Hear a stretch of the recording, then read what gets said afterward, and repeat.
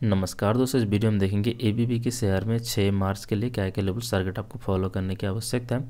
दोस्तों आप सामने एबीबी का हम देख रहे हैं डेली टाइम फ्रेम पे चार्ट लगा हुआ है। स्टॉक आपको यहाँ पे एक ऑप्टर्न में कंटिन्यू करता हुआ देखने को मिल रहा है।